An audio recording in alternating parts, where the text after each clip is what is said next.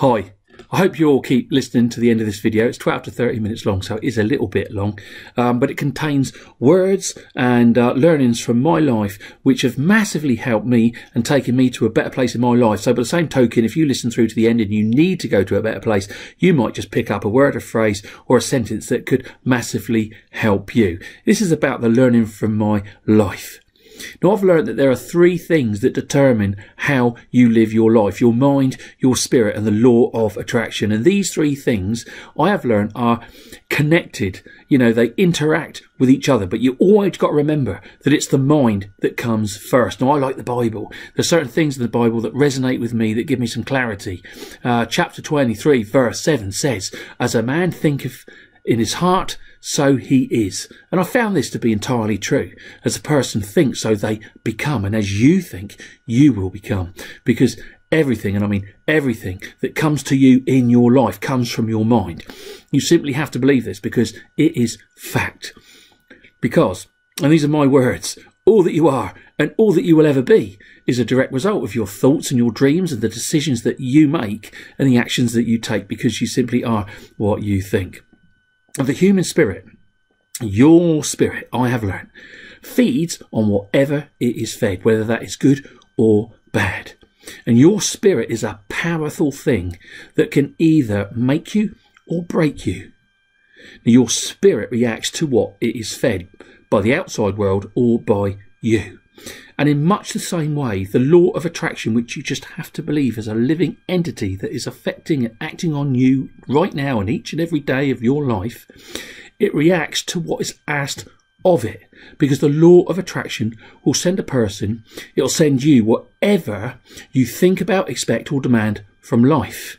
And the law of attraction, it doesn't discriminate, it doesn't separate the good from the bad.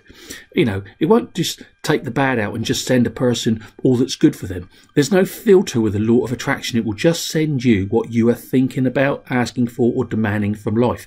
So, good or bad, whatever you are thinking about, the law of attraction, life itself, is going to send you. I have learned this. Um, the lesson to be learnt here, therefore, is, and it's a huge lesson to learn, is to keep thinking good and positive thoughts all of the time, period.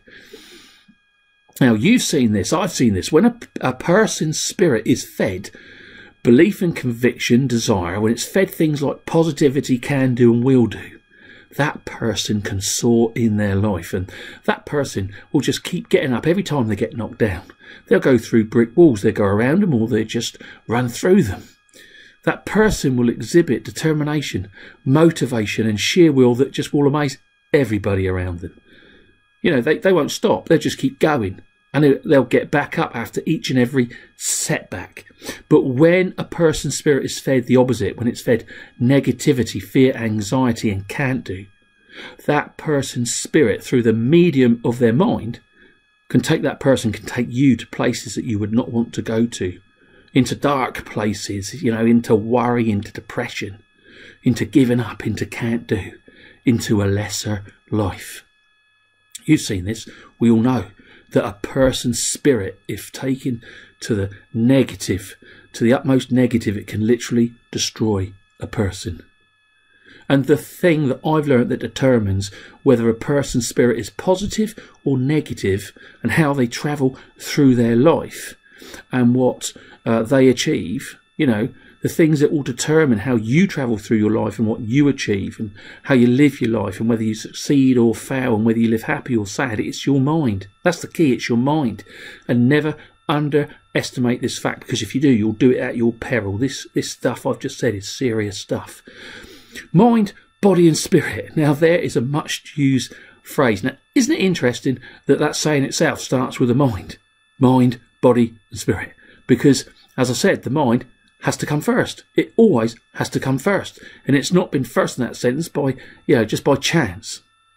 It's been put there by some learning in history. Also, it's been said throughout history, and it's said in the Bible, in the beginning was the Word. And you need to remember this. In the beginning was the Word, because there is significance in this, because words have power, and I'm talking about a real power, because of the fact that your mind is made up of words. You will know this old saying, sticks and stones will break my bones, but words will never hurt me. I've, I've realised that this is simply not true. Because words can destroy you. Words are more powerful than me or you could ever dare to imagine. It's also been said down through the years that the pen, words, are mightier than the sword. Why has that been said? Who learnt that? It's because many people have come to see the power of words as they've lived their lives.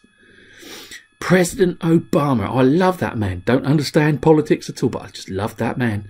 He campaigned and won his presidency on the power of the word um, by continually chanting, which is now a famous chant in his fired up, ready to go campaigns. Went like this A word can change a room, and if a word can change a room, a room can change a city. And if a word can change a city, a city can change a state. And if a word can change a state, a state can change a country. And if a word can change a country, a country can change the world. Boom, there you have it. That's the power of a word. And guess what? He won. Because, as I said, it all starts with a word.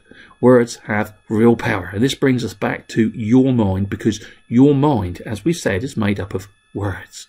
Your mind is a huge and complex living entity. And your mind is where your real power lies. The words that are in your mind, that are in your head, determines how you will live your life, whether you be success or failure, whether you be happy or sad. Let me say this very clearly to you, real learning. Your life will be made or broken by the words that you allow to enter or that you yourself put into your mind. Learn this, take it in, work on it, because I bear witness to these words that they speak the truth. Here's another version of Sticks and Stones by the American singer Demi Lovato. Now she was bullied at school and she wrote this in her uh, book. Sticks and stones may break her bones, but, but names may make her want to kill herself. Because that's the power that words can have over us. Here's another version of Sticks and Stones. My version of Sticks and Stones. Sticks and stones may break my bones, but the words I say to others and the words I say to myself may stay around and haunt me forever because that's the power of words.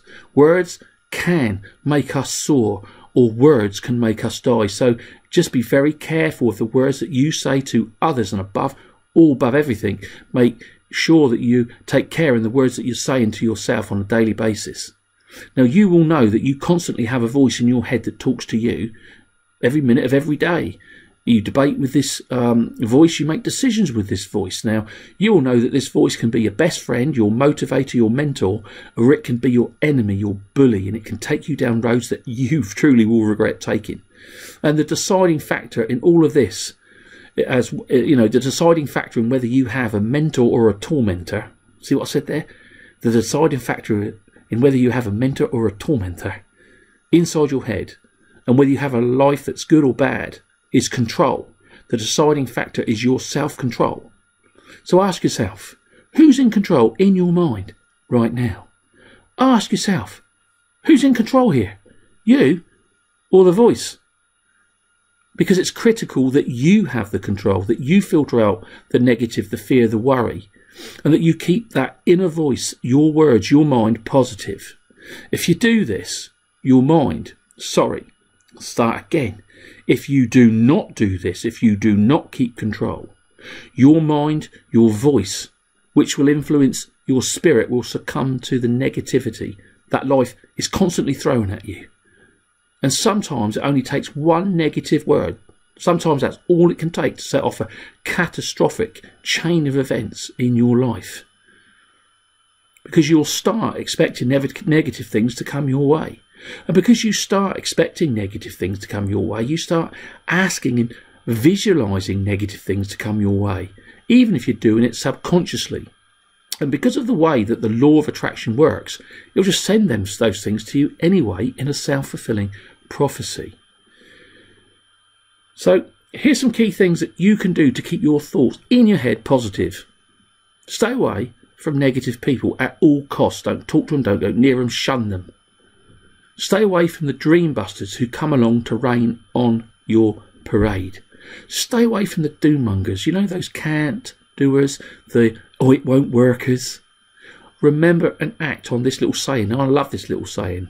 Winners hang with winners and losers hang with losers. If you like the downtrodden, hang with the downtrodden. So hang with the winners. Remove yourself from the losers in your life as quickly as you can before they have the chance to infect you with their toxic thoughts of gloom and bring you down. And they'll do that if you are not careful. And another thing that you can do is to set up the culture in you to flip all the negativity that comes your way because there is always a positive in a negative if you look for it. So always look for the positive in the negative, flip it.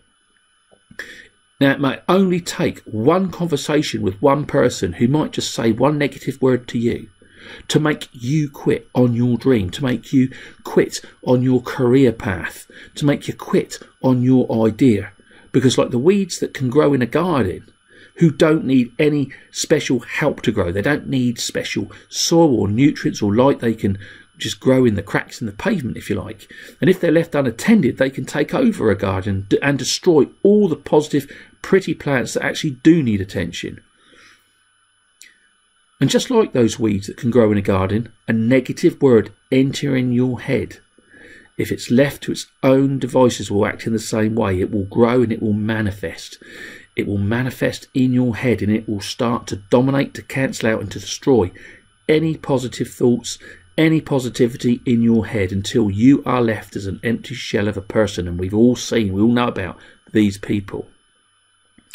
The lesson here in this video is three things your mind, your spirit, and the law of attraction will determine how you live your life. I have learned this and I'm sharing it with you. And the key to success is to control your mind, to keep it healthy, to keep it open and positive, because it influences your spirit, which in turn influences your outlook, which in turn will determine, because of the way it works, what the law of attraction will send to you. So you need to always remember what you put out into life, you will get back. What you ask for, demand, or expect from life, life will send to you because all that you are and all that you will ever be is a direct result of your thoughts and your dreams, of the decisions that you make and the actions that you take. So be careful. Be careful of the thoughts that you allow to come in your head. Always keep it positive and always go out into life and to expect, expect, demand your success, your greatness, your happiness. And then you will find that one way or another it will come to you. I've learned that.